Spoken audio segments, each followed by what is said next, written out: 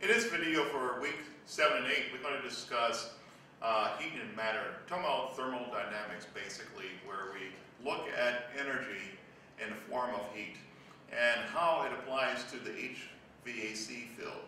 Now, as technician, yes, we do have to understand the science behind it to make the equipment work correctly. And the science is built on uh, years of uh, scientific um, changes and advancement in the field to get to the point where we're at today. So as we go through, we're going to really do some basic things, just an overview of things that you have covered in the past. But when we deal with heat, we are actually talking about energy, the amount of energy. And the way the measurement we measure uh, heat is what we call a BTU. And it stands for British Thermal Unit. And a British thermal unit is really the simplest form we look at in the United States of measuring energy. Different parts of the world, or in science or engineering, they use different forms, but just measurement. Matter of fact, for example, another form of energy, of heat energy, is a calorie. We look at calories as losing weight and things like that, but it's actually a measurement of heat energy.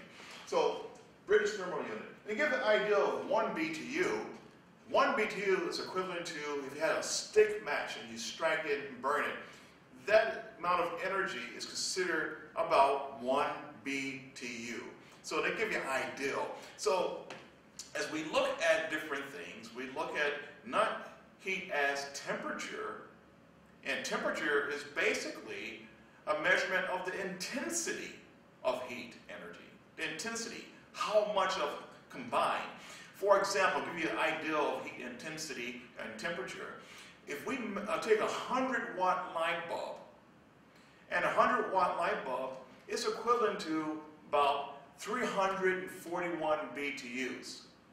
And we take that 341 BTUs, like taking 341 matches and striking it at one time and burning that amount of energy. It's quite a bit. But a 100 watt light bulb we know is hot. And let's say, just for um, the discussion, that uh, the outside surface of that a light bulb is very hot. If you ever touch one, you know it's hot. But it's, let's say it's around 200 degrees, very hot. And it's pretty intense. But let's look at it uh, a little more deeper. Where that heat energy is coming from is that filament in that bulb. So let's say we had a light bulb and we had the filament inside of it, the little wire, tiny wire. And let's say on the outside of it is 200 degrees Fahrenheit, and it's, like I can say, it's pretty intense. But now, let's look at the filament inside of it. What is that temperature? That temperature is probably closer to a thousand degrees. A thousand degrees. The same amount of BTUs, 341 BTUs.